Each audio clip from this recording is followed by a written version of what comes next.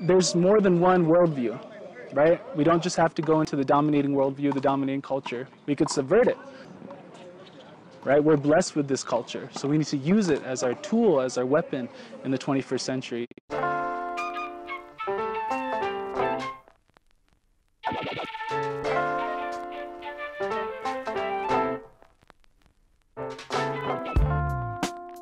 Hi ho and mabuhay. My name is Henry Jake Foreman. I'm absentee Shawnee from Oklahoma as well as Filipino and Scots Irish.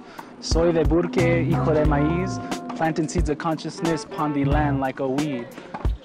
I grew up, born and raised here in Albuquerque, New Mexico. Spent a lot of time at these handball courts uh, in high school at Albuquerque High.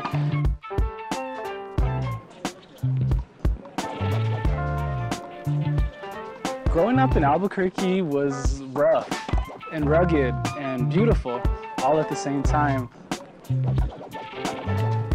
My dad was an alcoholic, and I was going down that same path myself um, until he passed away of cirrhosis of the liver. And when he passed away, that's when I really started to get a critical understanding of wait a minute, why was my dad alcoholic, right? Why was his grandfather an alcoholic? And I could trace it back, right, through history, the history of colonization. And I could understand that I was going on that same path. But I chose to do something different. I chose to heal. I chose to stop drinking, and I chose to get into my passions, bicycling, gardening, and art. And that transformed my life.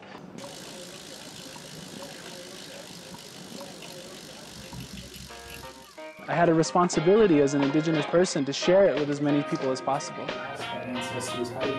This idea of educating people and this idea of intergenerational engagement has always been a part of our culture.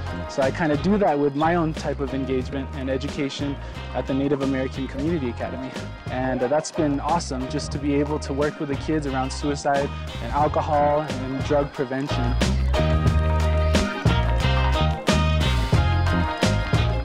Education is a form of sovereignty. Education is a form of transformation. Right? Education is revolutionary, and we get to do it every single day to connect our culture, put it into practice. We all could connect back to our indigenous roots. Some might have to go a little farther than others, but we all have indigenous roots, and we could use those indigenous roots to inform our future by incorporating those roots and those worldviews and those ways of knowing into the 21st century.